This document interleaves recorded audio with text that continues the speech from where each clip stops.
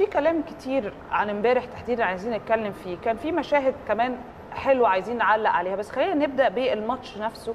يعني آه، حضرتك ما لاحظتش مثلا إن كل جول كان بيجي للأهلي؟ أنا مش هتكلم على الملغي خلاص إحنا هننسى هنسامح.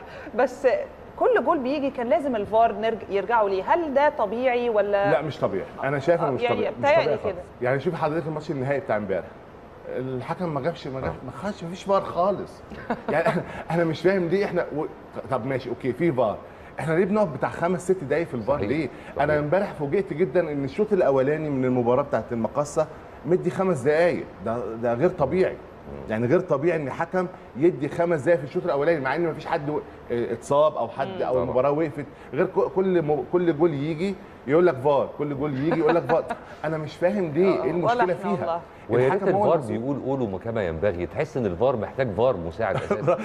حقيقي والله. يعني فعلا آه، آه، يعني هي كانت over جدا امبارح. وأنا مش عارف يعني آه، يعني ليه بيحصل الفار ليه بيقف كتير أنا ليه مش فاهمها يعني هي بتبقى يعني ما ما تجيب- ما تجيبش دقيقة يعني يعني. أنا- يعني ما تجيبش دقيقة أنت المفروض. بتاع ثلاث أربع دقائق عشان خصوصا في الكرة. جوال بالعين مش محتاجة فار يعني شفناها كده. امبارح برضه. أنا في حكام بتقول لك أنا ما ما حدش من الفار يكلمني غير لما أنا أعوز إن في حاجة. كويس. بيكون حاجة كويس وده وفي. حكام كتير كتير جدا في الدوري المصري بيعمل كده.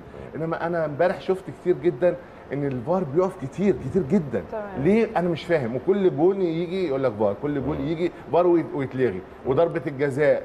مش طب. حاجات غريبة جدا. يعني المفروض ال- ال- الموضوع بتاع الفار ده إيه، هو ده مساعد للمباراة طبعا. مساعد مساعد للمباراة مش على المباراة. يعني أنا بشوف أنا بشوف الفار حمل على المباراة. يعني لازم الفار ده يكون عامل مساعد للحكم طبعا. في المباراة. صحيح. واحد اتنين خلاص خلص الموضوع. يا تحسب يا ما تحسبش خلاص بس. إنما اللي إحنا بنشوفه كتير بصراحة كان كتير جدا امبارح ورغم ده كان ممكن يجيب أجوال أكتر بكتير كتير، برضه يعني كتير. أعتقد كانت تخلص أكتر من يعني كده النادي الأهلي كان ممكن أنا يعني أنا قبل المباراة بتنتهي أنا قلت بصراحة الأهلي ممكن يكسب 3 4 يعني كان مم. ممكن يكسب أكتر من هو كده الأداء كمان بعيدا عن الأهداف والسكور اللي اتحقق الأداء المحترم الراقي للنادي. الأهلي في آخر كام ماتش بطبيعة الحال أكيد هيبقى له انعكاسات إيجابية على الحالة النفسية والمعنوية وحجم الثقة بالنفس عند. لعيبة النادي الأهلي. لكن هيبقى له مردود عكسي عند لعيبة كايزر تشيفز اللي أكيد برضه هيشوفوا فيديوهات الماتشات. متابعين طبعا ما متابعين جدا. بيتابعوا live كمان. بص حضرتك متابعين لأن النادي الأهلي اسم كبير جدا في أفريقيا اسم كبير جدا في أفريقيا. طبعا. فالناس دي كلها عارفة كده. والنادي الأهلي لو أنت هتحسب بطولات النادي الأهلي في أفريقيا هو أكتر نادي في أفريقيا واخد حصل على بطولات. فالموضوع هم عارفين جدا النادي الأهلي وبي- وبيحترموا النادي الأهلي جدا وإحنا طبعا بنحترم الفرق اللي. قدامنا عشان نقدر نكسب أو نقدر نتعامل معاهم فلازم نحترم الفرق اللي قدامنا. إنما النادي الأهلي اسم كبير جدا جدا جدا.